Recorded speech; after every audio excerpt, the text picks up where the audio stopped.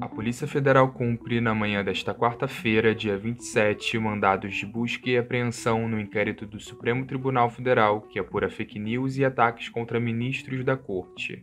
Entre os alvos estão o deputado federal Roberto Jefferson, do PTB, o deputado estadual Douglas Garcia, do PSL, o blogueiro Alan dos Santos, o empresário Luciano Hang e da ex-militante feminista Sarah Winter. Os cinco alvos são aliados e apoiadores do presidente Jair Bolsonaro. As ordens foram expedidas pelo ministro Alexandre de Moraes e estão sendo cumpridas no Distrito Federal, no Rio de Janeiro, em São Paulo, no Mato Grosso, no Paraná e em Santa Catarina. A PF foi até a casa de Roberto Jefferson em Brasília e no gabinete de Douglas Garcia na Assembleia Legislativa de São Paulo.